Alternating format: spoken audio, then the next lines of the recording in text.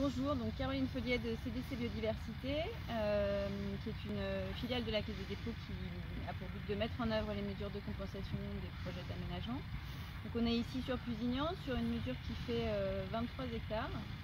c'est une mesure qui euh, compense des impacts qui, sont liés à la construction d'une plateforme logistique à Corba et qui permet du coup d'apporter des supports de biodiversité sur ce territoire agricole en créant notamment euh, des haies. On a plus de 3 km de haies qui sont créées. On a 14 euh, hectares de prairies, donc qui est derrière ici, qui va euh, permettre d'apporter un peu de, diversité dans cette plaine agricole.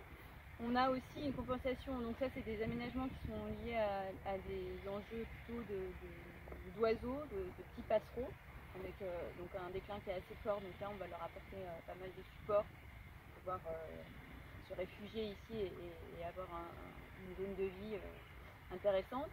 Et on compense aussi euh, des, zones humides et notamment la création de mares pour le crapaud calamique, qui est un petit crapaud qui présente des zones très minérales. donc on crée aussi des hibernaculums pour que les, animaux puissent se réfugier.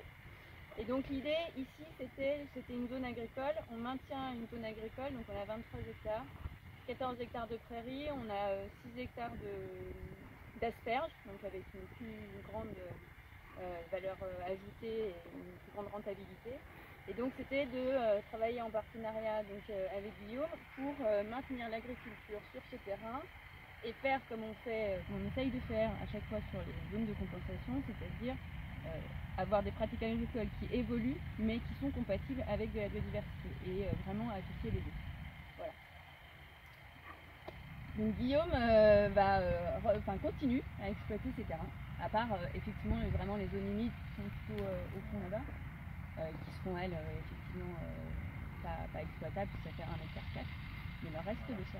Sur les 23 hectares, on disait il y a 5 hectares qui passent en mesure compensatoire vraiment écologique, et le reste reste quand même à vocation agricole avec euh, bah, la prairie de fauche et puis euh, plantation d'asperges et d'arbres fruitiers.